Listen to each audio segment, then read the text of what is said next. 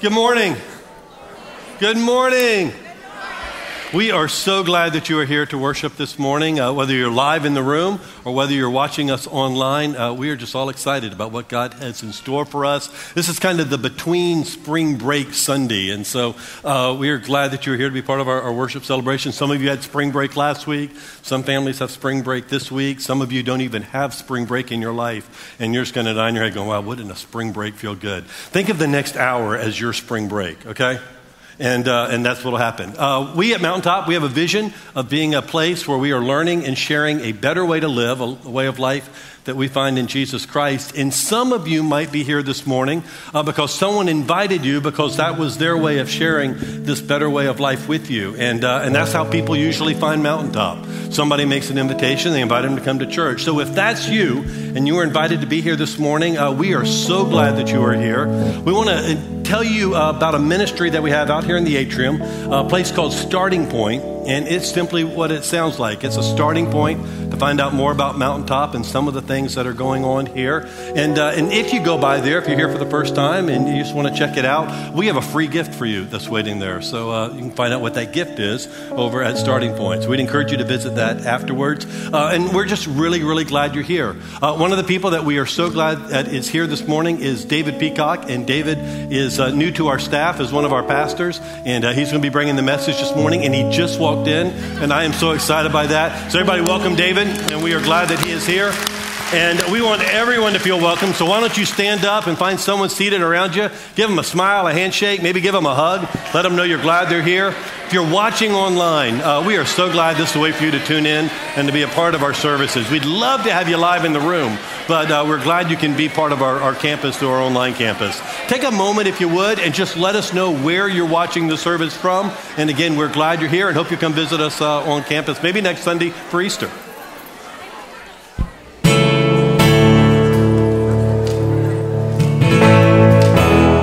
Let's put our hands together just like this.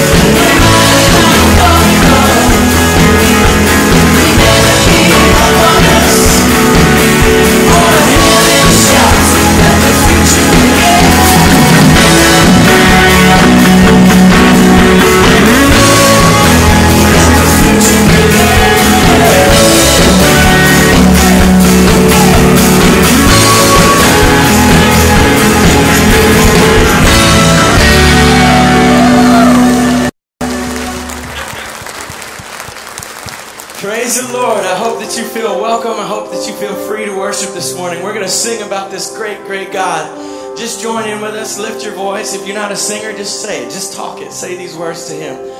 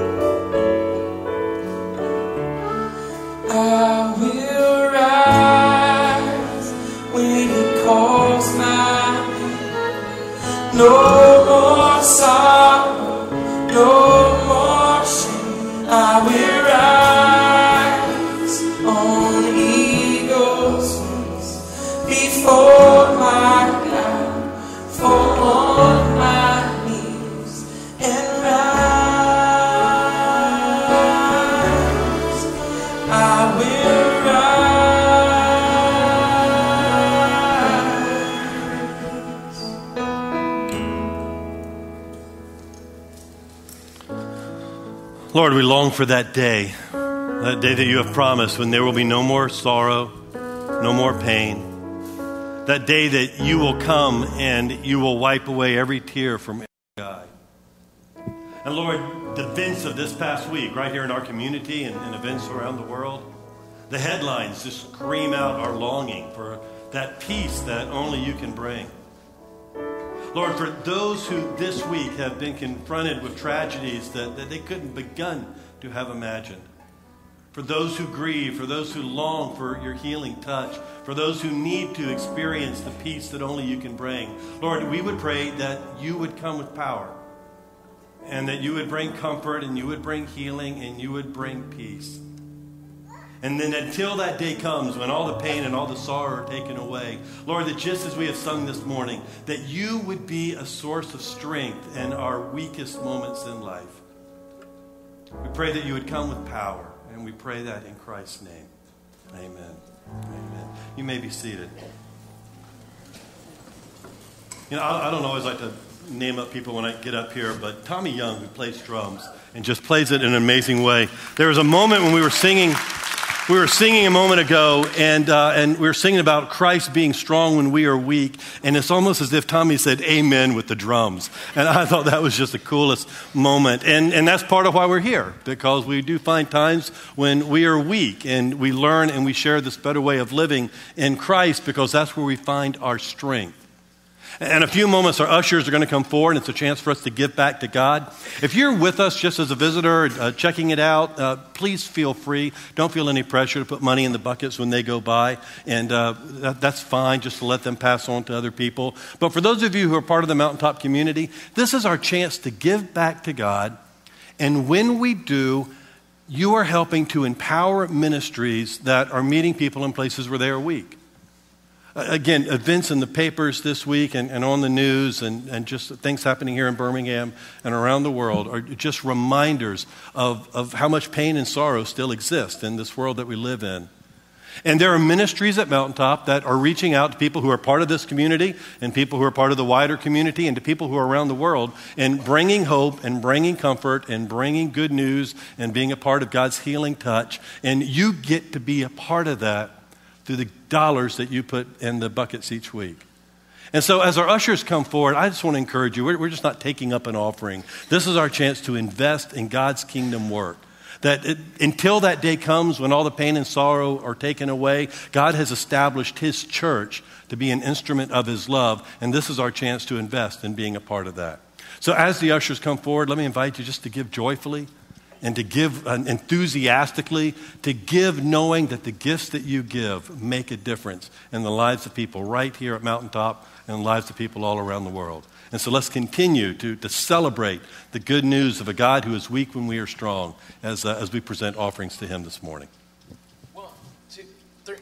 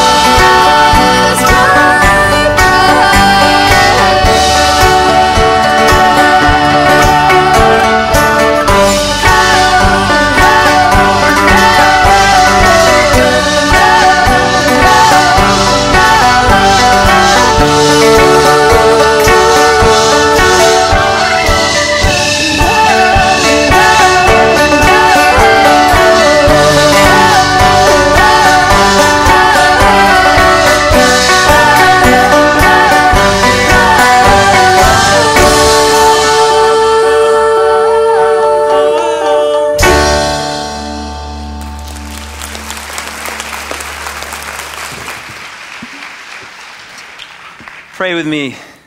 God, uh, thank you that Easter screams out, proclaims that this is not the end. And thank you for this season of Easter that we can proclaim that. And, and, I'm about to speak to some people here, Father. I have some things in my heart, I have some things in my Bible, uh, some words that you've put in my brain. And it's nothing that I'm going to do or say that's going to change people, but you. And so, will your Holy Spirit just move around this room and there's some people, God, that have some walls up real high, and uh, only you can break those down. So, will you please just start working on some people's hearts? That today would be a beginning, not the end. Some people are in a hopeless place where they, they feel like it's an end and they don't know um, where there is going to be hope. So, this morning, we just want you to just fall down on us and speak to us. And uh, may we leave changed people because we've been here together. In Jesus' name I pray. Amen. Well, we've been in a series called On the Third Day, and Doug did a great job the first two weeks introducing the series to us, talking about the Thursday, Friday, Saturday, and Sunday before Easter. And so today I've been given the task of talking about Saturday. Now we know Friday is referred to as Good Friday, and we know that Sunday is referred to as Easter Sunday, but somewhere packed in the middle there, there's Saturday. And many Christian denominations refer to it as Holy Saturday. but Saturday is the day when we remember Jesus being in the grave, in the tomb, dead.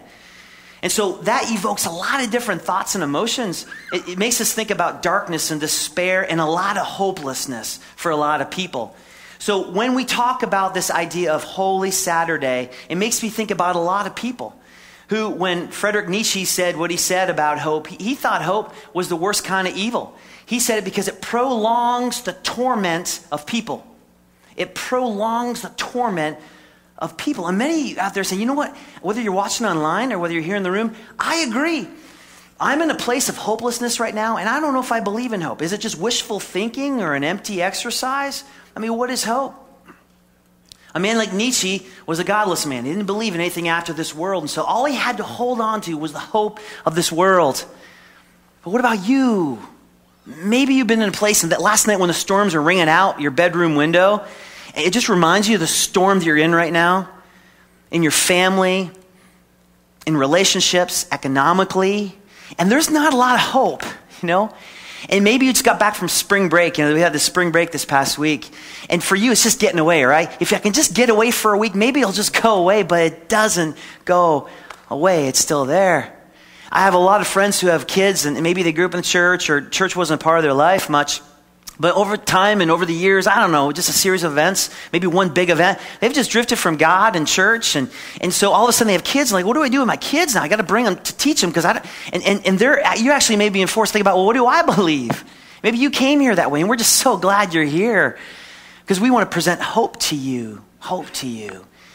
Uh, I, I, had lunch this past week, and I ran into a couple, and they were um, eating lunch with a member of our church.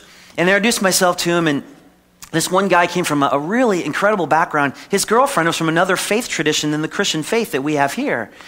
And, and, and she said, Do you think it'd be okay if I came to your church on Sunday? And I said, Oh, yeah. Please come to our church. Because maybe you're like her, and you're handed this faith from your parents, and going, I don't know what to do with this. And I don't know if I believe this. And I've never made it mine before. Maybe you're in that place. I, I talked to a guy sat in my office this past week, and he said, David, I'm retired now. I spent 20 years climbing the corporate ladder, and I sacrificed a lot. I sacrificed my family. I sacrificed money. I sacrificed integrity along the way. And now I'm retired, and I look back, and there's no hope in that. And maybe you're just starting to climb that corporate ladder, so I can give you some heads up ahead of time. There's no hope in that. Well, I'm just going to be very clear and direct with you. I have a purpose standing on the stage this morning. I have a goal. My goal is simply to convince you of something. So when you leave this place, you see yourself, you see God, and you see life differently than when you came in here. And this is what I want to propose to you that love gives hope when life looks hopeless. That God is love. He's the author of love. That God gives hope when life looks hopeless. Life looks hopeless from our finite temporal position. And there's a God who sees from eternity. We see from finite. We can't see around the corner. We can't see tomorrow. But He can. But He can. My goal is to share that and proclaim that and convince you of that truth. And maybe, just maybe, one brick will fall off that wall. Maybe the whole wall will fall down. And it'll take you coming to that place where you can see life differently. When I look around this room, we all have these deals we can say, here's a hopeless situation in my life. Here's one in my life. So we're all in this boat together, traveling down this way. Maybe you're in a place you're just MIA spiritually. You're missing out action. You've just drifted for a long time. It's time to get back. It's time to get back. Today, we just want to put hope before you and just proclaim that there is a place where you can find hope because you have to get through Saturday to get to Sunday. And today we're going to get through Saturday. I'm going to focus on one passage of scripture in the, um, one of the historical narratives of Christ in the Gospel of Luke. It's the longest gospel um, out of the four in the New Testament. And we're going to dive into this one little story in Luke 23, uh, verse 50 through 56. If you have a Bible, open up your scriptures. If you don't, we have the scriptures up on the screens. You can follow along. But I encourage you to write notes, underline in your Bible, circle in your Bible. We're going to devour this thing. And then I'm going to cross reference a little bit. I'm also going to share a little with you about my life. A lot of you are saying, he's not from Alabama. so I'm going to talk about my life a little bit, just introduce myself to you and how we got to Birmingham. So I'm very excited to be with you. You guys excited about being at church this morning? Awesome. Good. Well, let's get this thing open. Okay, let's dive into this thing. Let's see what this thing has to say to us. Okay? In 2013, we're going to look at the Gospel of Luke, chapter 23. We're going to start in verse 50. Scripture says now. Don't miss these little words now. What, what does now mean? Jesus died 3 p.m. on Friday. And the gospel writer Luke pauses and he says, Now. Now that he died, let me set up the next scenario with you. Let me share you what happened next. Now there was a man named Joseph from the Jewish town of Arimathea. Arimathea was 20 miles from Jerusalem. Joseph was a wealthy, respected, and the scripture refers to him as a secret disciple of Jesus. He was a Jewish man. He was respected. He was from outside of Jerusalem. He was a member of the council, a good and righteous man. And the scripture says, who had not consented to their decision and action, and he was looking for the kingdom of God. He said, I don't agree with this false trial against this Jesus of Nazareth. And I don't believe and I don't agree with this crucifixion. And I might take a stand for it. But through it all, listen, don't forget these words. Joseph was looking for the kingdom of God, even the most hopeless place. Maybe that's the very small thing that you need to hear this morning. Keep looking for the kingdom of God in the most hopeless and darkest of places. Joseph did this. He's our example this morning. Didn't give up hope. Verse 52, check this one out. This man went to Pilate. Pilate was the man who authorized the crucifixion of Jesus. Can you imagine being that guy? Can you imagine being remembered for all history for authorizing the crucifixion of Jesus of Nazareth? Can you imagine? He reported to Tiberius, and he ruled from 26 to 32 AD in Judea. He was a ruler. And this man, Joseph, went to this great, great ruler, Pilate, and he asked for the body of Jesus. This is a big step because he could be killed for taking the stand. It was risky. Jesus was a controversial figure. Also, Joseph was a Jewish man. It would defile him to touch a dead body. A lot at stake for Joseph to ask for the body of Christ. And can you picture this? While all the other bodies are rotting on the crucifixes all around town in that day and age. And no one asked for the body. No one.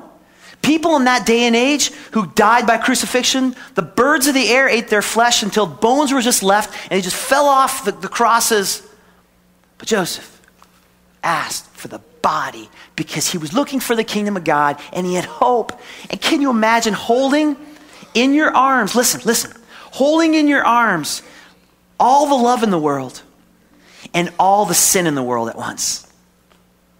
All the love in the world and all the sin in the world all at once. Joseph carrying that dead body carrying the dead body. This is also very, very interesting. If you were to look at the life of Christ, life began for Jesus um, at a very young age, and he had a father named Joseph. And Joseph wrapped him in linen. And Joseph laid him in a manger. His life ends with a man named Joseph holding him in linen and laying him on his tomb. And it says this in verse 53 Then Joseph took it down and wrapped it in linen. See, it was just a body. Jesus was not there anymore. Luke is saying this Look, I'm a doctor. I've seen a lot of people die. I've seen a lot of hopeless places. This looks hopeless. We heard his words. We saw what he did. We thought he was different. But guess what? It's just an it now. His life is not in the body. But then Luke went on and says, it says this, and laid him in a tomb cut in stone where no one had ever laid before. And what Luke is reminding us is look, there's no life in this body now, but this body is going to rise. It's a him. He's real. What he said is true. It's going to happen. From our perspective, we look at this and go, you know, we know he's going to rise. But they didn't know that. They did not know that when they saw this. And, and, and he, had a, he had a tomb. He lived 20, out, 20 miles outside of the city. He was a wealthy man. He had the opportunity to buy a tomb for his family to be buried in out of limestone cut in the rock. No one had ever been laid in there before. The poor people, there were numerous bodies that were laid in tombs this tomb was for Joseph's family, but he said, Not for my family anymore. I'm going to give it to the King of Kings and the Lord of Lords. And the scripture says, He gave the tomb for Jesus, where no one had ever been laid before. That a great truth.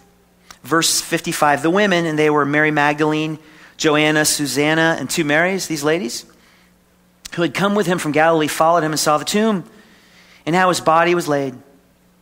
Then they returned and prepared spices and ointments. And on the Sabbath, this is Saturday, this is the day of rest for the Jews, they rested according to the commandment. They rested according to the commandment. And Joseph's life screams out it's never too late to take a step forward, and it's never too late to make a difference with our lives. Now, this story is a story of hope for you and for me. And it reminds us that love gives hope when life looks hopeless. Now, I know many of you are saying right now, you know, David, that's great and that's fine. And I understand, you know, you got to read the scripture and you're a pastor and all those things. But you don't understand my life. And this is 2013. And you don't know what's going on in my life, in my world, and what's been going on for a long time. And let me say back to you, I don't. But there's a God who does and who loves you and who wants to give you hope. And that's the, when the church says amen. Yes, that's right. Amen. Because there's a God who loves us and he wants to give us hope. Um, a part of my message this morning is for you to get to know me a little bit. Uh, I went to Auburn University in my senior year. yes, yes, yes. Um, actually, one of my college roommates is sitting right there. Um, he, he'll test us some of these stories, so don't ask him a lot about my life in college. Um, so I went to Auburn University and I fell in love my senior year in college. You guys ever fall in love? I mean, I, I just fell in love with this girl. And uh, I have a picture of her when we were seniors at Auburn. Here's a picture if you want to look at it. Yeah. Now, I know you're thinking that's a sweet mullet he's got on right there. And I think they're going to come back one day. Those mullets are definitely, definitely going to come back. Uh, but Jill and I, we, we fell in love and we started building a friendship. And then we started dating. And then we got engaged and we got married. And I was so excited to get married. And we intentionally put all these people around us. Like, I'm going to call them marriage mentors. This is one of the language we use in our church. We like to put people in younger people's lives who are getting ready to be married to teach them about what's going to happen when you get married and all those ins and outs. And so I had those people in my life when, when Jill and my, my lives when we were younger. And so I remember talking to him. I heard so many people say, Hey, marriage is awesome. The first year is just awesome. It's easy. It's fun. You'll love it. It's so great. I'm like, Oh, that's so cool. I'm so excited for marriage. And so you have to understand that I'm, an, I'm, a, I'm the baby of my family. I have two older uh, sisters, and it's me. And so I was treated as the baby. When I left for Auburn, I didn't know the difference between a washer and a dryer. I, I didn't know. And my mom, every morning, she'd wake me up. She's like, Hello, Davy Wavy. Good morning. Welcome. You know, welcome to the day your clothes are put out. And she'd wake me up and, and she'd she had my breakfast nice and hot for me. And she had, listen, no, seriously, she had a wet, warm washcloth right next to my breakfast. And I just wet my hand on it and wiped my face. And she's nice and hot. And she put my dishes away. And, and now, by the way, I, it happened really. You're like, I thought I was the only one. All right. So keep in mind, um, also, I do sick really bad. Are, are there any wives who have husbands who do sick really bad out there? Amen. There you go. Yeah. I do sick really bad. And my mom leaned into that. Okay, they lean. She's like, "Oh, Dave, you're gonna be okay. Would you like some more ginger ale? Here's a wet washcloth. It's really warm." You know, I'm like, "Oh, mommy, I'm so sick." And I did sick really bad. So, hey, I'm getting married, right?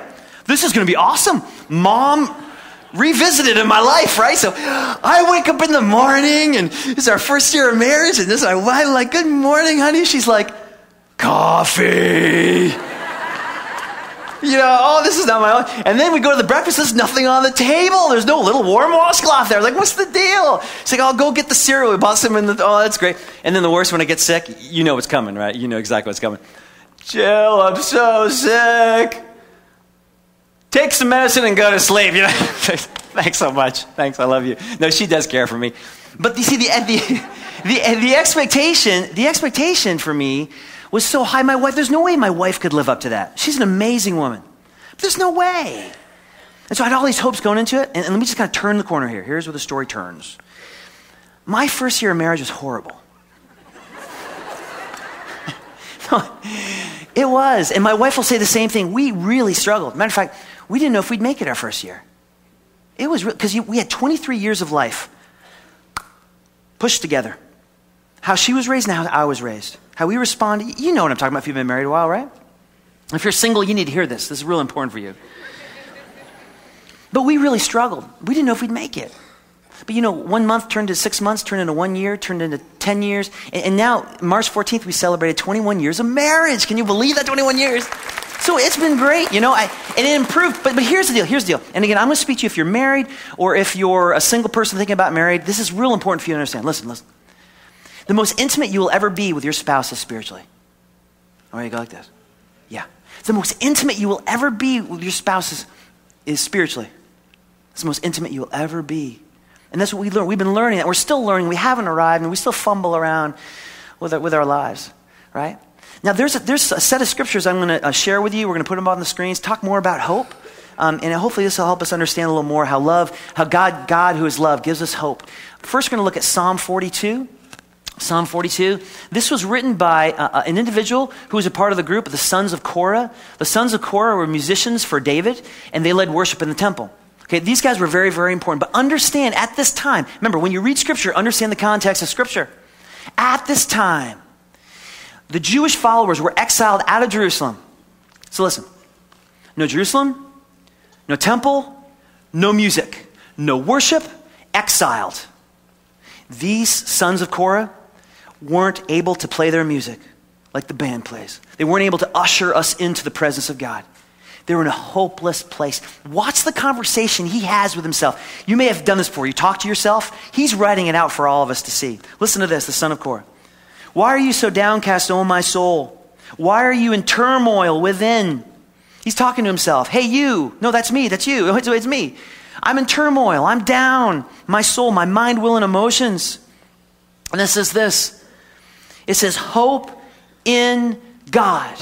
Hope in God. The word hope is a, Hebrew word that you can look up here, and it says this is it's yakel, and yakel also is translated to wait. So you could say, wait in God or hope in God. Wait in God. God is the word Elohim or Elohim in the Hebrew, and it means the divine ones. Put your hope in the divine ones, the Father, Son, and Holy Spirit, already projecting out into the New Testament. Put your hope, wait in the divine ones, in Elohim. Put your hope in Him. For I, again, will praise Him. He's been here before. This is not his first rodeo with hopelessness. I'm going to do this again. I'm going to praise him. I'm going to praise him through it, the hopelessness, through the Saturday, through the darkness. I'm going to praise him. I'm going to praise him, my salvation and my God. Because this is what this guy really believed. Hope delayed does not mean hope denied. Hope delayed doesn't mean hope denied. Let's go over the New Testament, First Peter. First Peter. Peter's reflecting back on his life. Peter is an older man. He's been through a lot in his life. He's been through a lot. And he writes in the first chapter, verses 3, the scripture says, Blessed be the God and Father of our Lord Jesus Christ. And I love the exclamation point. Don't miss the punctuation in the Bible. Exclamation point. According to his great mercy, he, he's the source. We're not the source. He has caused us to be born again, which means just like physically we're born once, spiritually we can be reborn into God. We will be born again into a what kind of hope? Living. Not a temporal, not a dead, not a finite, not based on a job or a boss, on money or a, material possession, or if your team is winning or losing. This hope is a living, eternal hope. This word living in the Greek is zoe, and zoe means true life, full life. A living zoe.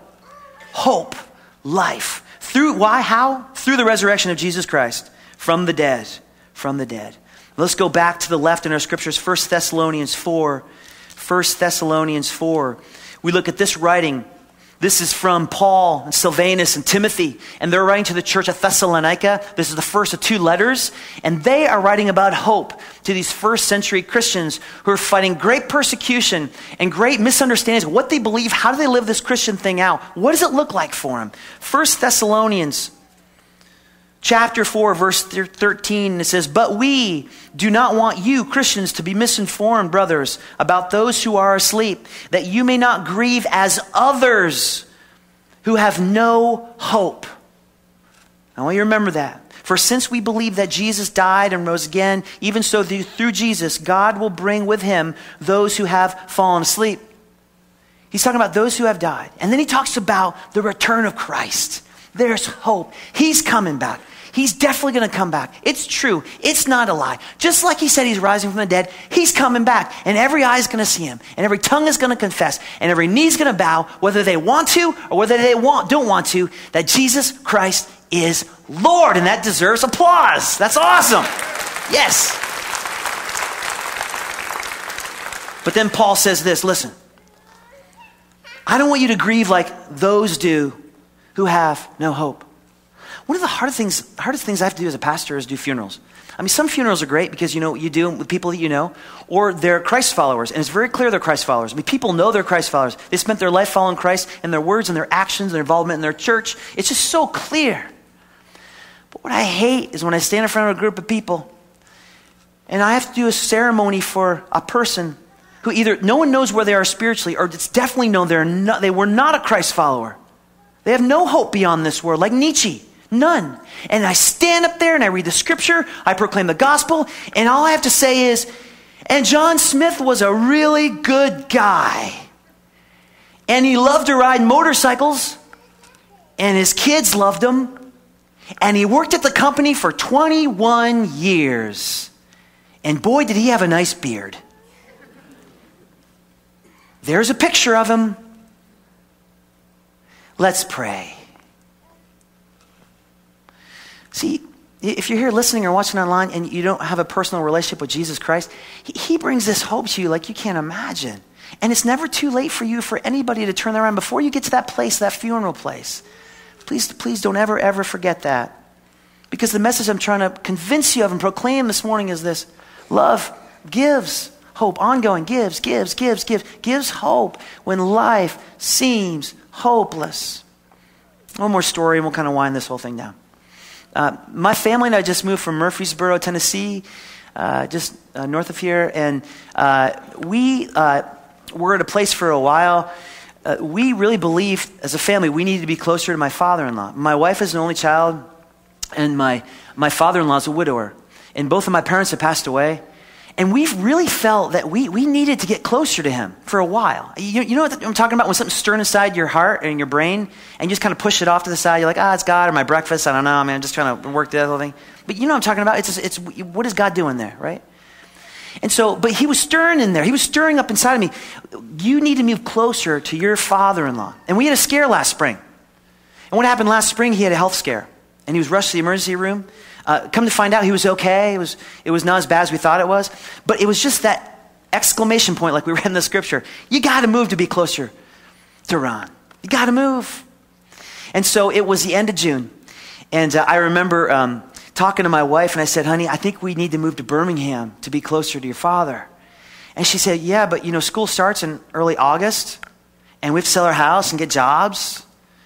And I said, Yeah, but I just, with all my heart, I just feel like we need to do this. I haven't been this sure since I asked you to marry me with my mullet flowing behind me. Okay? I haven't been this sure. I, am so sure. I'm just so sure. She goes, Okay, well, let's, let's check this thing out. And we told our daughters, and our daughters showed great courage and faith. And we said, You pray about it, and you tell us what's going on in your hearts. And they came back to us. I mean, these are 13 and 16 year olds coming back to us saying, We feel like we should do this. It's going to be hard, but let's do this. Let's see this as an adventure for God. Let's do it. Dad, come on, mom. Loved it. And so we said, okay, let, us just see this thing. We need to get a job. So my wife went online, and the day she went online to get a, she's a, a pediatric physical therapist, and she went to Children's Hospital. The day she goes online, a, day, a job was posted that day. Less than a week later, she gets a call for an interview. I have a friend who knows someone higher in the organization. She gets an interview. She gets offered a job. Two weeks later, now we have to sell our house. We're driving down to Birmingham. My kids are in the back. We're, we're going to find a house. And one of my daughters, in all their wisdom, said, Dad, don't you think we need to sell our house first before we buy another house? and I said, Great point. and I'm sitting there, I'm like, I have hope. God's going to provide. I wasn't being foolish and reckless. I just knew it. I knew it. I knew it.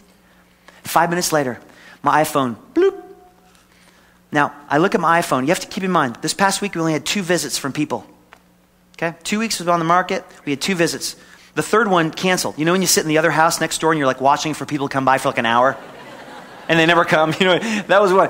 The other one was from uh, Louisiana and they went in for like five minutes and they left. We're like, duh. And then the other one spent a bunch of time and they left. We heard nothing from them. But bloop, my phone pops.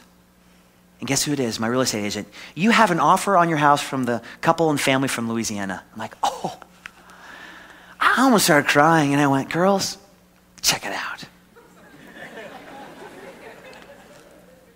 See, this isn't just talking about God, this is like living God, right? We went down there and um, got house, put my kids in this uh, school system, grade school system. Full circle, my, my, my seventh grade daughter's track coach was my freshman year in college's track roommate at Auburn. it's, just, it's just a full circle, you know, it's just crazy. So we get to Birmingham, we're loving it. We spent five, six, seven months looking for churches. Nothing fit for us. We didn't get plugged in. We were like spiritual orphans. We, we felt so off. My wife loved her job. The kids were doing great. But I felt like, I, you know, I wanted 20 years of ministry. I felt like God was going to provide something for me. I remember it was just after Christmas. And uh, my wife and I have regular dates. And, and we were sitting Panera Bread. And my wife sat across from me and she said, David, she said, We've been here for since August, and you don't have a ministry job. And I know you've been speaking at churches and doing different things, but don't you think you just need to go sell something? something, just, you know? I'm like, maybe, but I just feel like God, I, it was a place of hopelessness for me. I remember leaving that and we were crying and we were angry and we just, we were very honest. We both agreed. So I remember sitting down at my computer um, that Monday, that, that next day after our date, and this is me at my computer. And I didn't know what button to press. I didn't know where to go with it. I'm like, God, what do I do? What do I do? And this little thought popped in my head. Why don't you contact the pastor at Mountaintop? I think he's been there a year. You interviewed for the job. You didn't get very far with that one, David. know? Why you? yeah,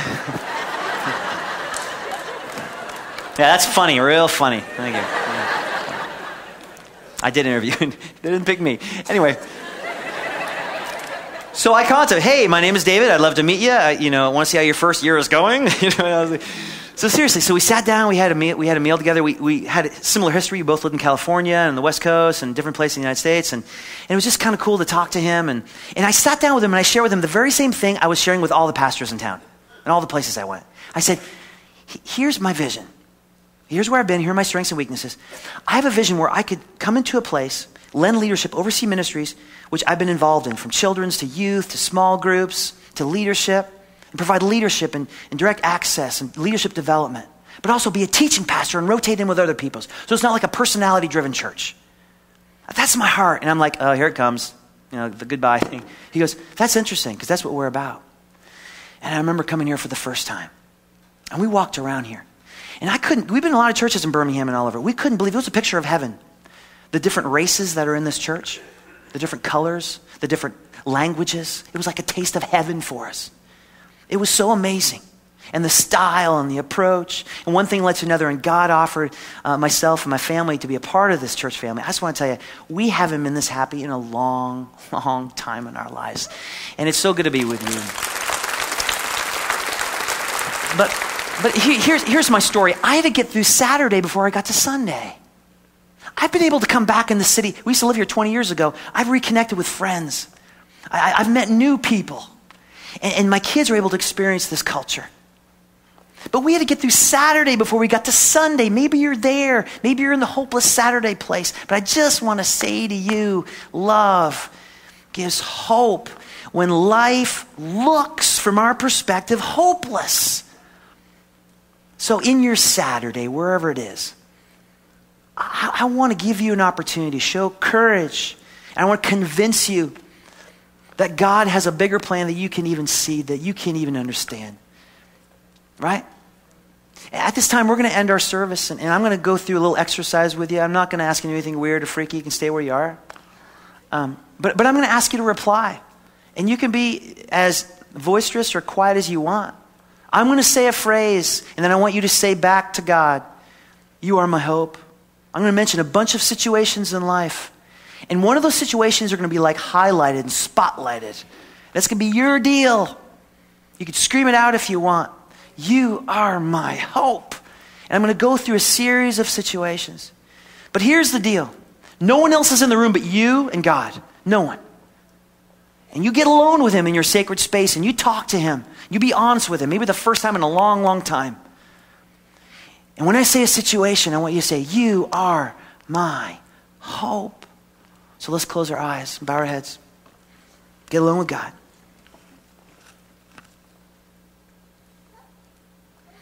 In my pain, you are my hope.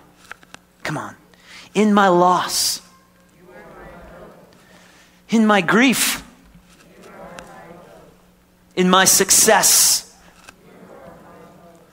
in my addiction, in my uncertainty, in my infertility, in my financial issues, in my joy, in my family situation, in my bad health report, in my employment, and in my salvation. You may look at me. I forgot to mention to you a little note here. This is on Embassy Suites Hotel, one of the many hotels we stayed in in our transition. Four simple words. It says, always trust in Him. This is from my 13 year old daughter. Because there are times I didn't want to trust Him.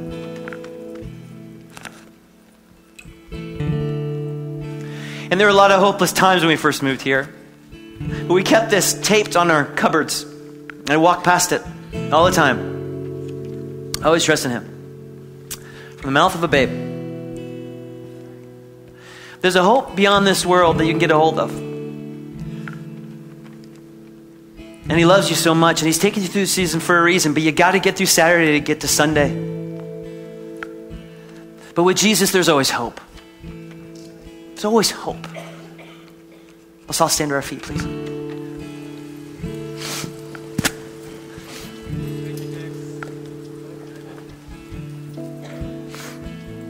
Let's pray.